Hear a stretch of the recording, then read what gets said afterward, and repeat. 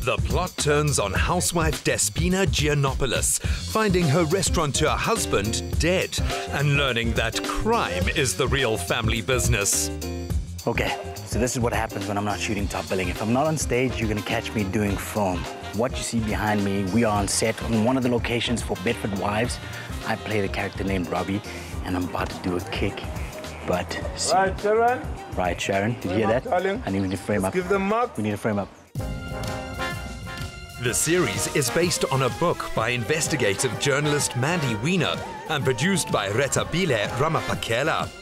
Retty, Bedford Wives, three years in the making. You finally got to do it. How do you feel about it, and what inspired it all? It was a concept we came up with around about the time Lolly Jackson, you know, passed on, and then we heard about Radovan Krejcir, and then the stories out of Bedford Views kept growing and growing. So we thought to ourselves, what if a wife who knows nothing about what her husband does, which is not true because, you know, all these wives actually know what they do. But we thought it would be a funny spin if we took a wife who knows nothing and then said, hey, your husband's dead, why don't you take over the business? And this is how Bedford Wives was conceived.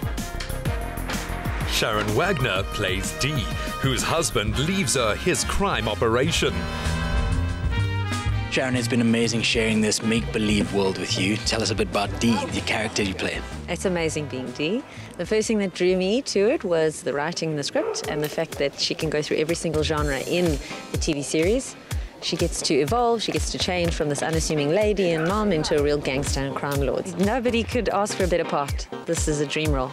While navigating her new career, Dee is still a caring mother to her son MJ, played by the energetic Jacob Daniel Gordon. Yo, Jake, the main man, what's it been like being a part of the show, man? You play MJ. Yeah, I play MJ, and it's been like amazing. I mean, I've done a few adverts before, but this TV series is a whole new experience for me, and I found it quite amazing. Tell me about your character. So my character is MJ. He is the son of the main character D, and when I first got the role of MJ, I was quite surprised because MJ is quite silent. He doesn't speak at all, which is extremely hard for me because I love speaking. I, I cannot keep quiet. So it's been there's been quite a few laughs when I've just talked by accident, and I mean my character he just ends up talking in the end really, but it's quite there's a lot of cool stuff and I loved it. I think you're doing a good job, buddy. Thank you. Being a comedy drama, Bedford Wives called for naturally funny actresses, and Annabel Linder steps up to the plate in style as Dee's mother in law. Tell us about your also powerful character, Elector. She is so, so, so powerful as a character and funny because she's, she's actually from the old school. So, you know, she says some horrendous things. As you see me now, of course, is not the way I look as, as a lector because I wear a grey wig and it shows you how important hair is because when you put on the grey wig, you're transformed. Fast, take three. The story is packed with roles any actress would love to play, like Paulina, the nosy neighbor who stole the PTA chairmanship from Dee. What are some of the differences or similarities between you and your character?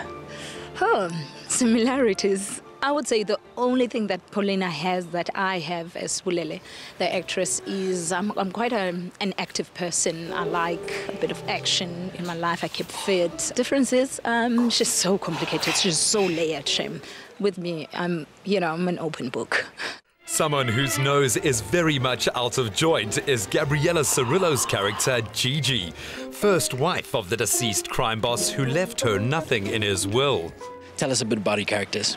Okay, well, Gigi is the ex wife. She has no filter. Um, but everything that she does, she does for her son, George. And that's pretty much Gigi in a nutshell. She's completely over the top. She's over the top. She's inappropriate. As is Yvette a little bit of the time. so I play a character called Yvette de Villiers, who's a real wannabe Bedford housewife. She doesn't have the money that the others have, but she wants it, and the glamour and the fame that comes with it. How have you seen your character develop over the course of the episodes? Well, she started out trailing Dee, her best friend, and then she goes off on her own path, um, which is not a great path. But then she comes back into line and has a lot of regrets about what she's done, and then joins the team in doing different things. I can't tell you too much, Chris. For SABC3, it's about investing in quality, original, homegrown entertainment with funny, strong leads and excellent writing. I do think it is more about the sisterhood because it's the story about these four women. So it's actually it's like this girl power sort of series. Look at these wonderful women doing wonderful things because on a daily basis that's what women do. They do amazing things. And yes, it's set in the world of Bedford View, but the, at the heart of it, we'll all sort of relate in some way or another. If you have kids, if you're a wife, if you're just a woman in general. And we have hotties like you to look at. So if you're new to the show and missed an episode, now you're up to speed for more of the action next week.